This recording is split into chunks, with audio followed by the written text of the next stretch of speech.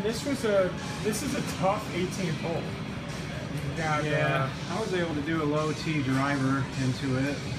yeah, you played that same setup I had yesterday, I think. Yeah.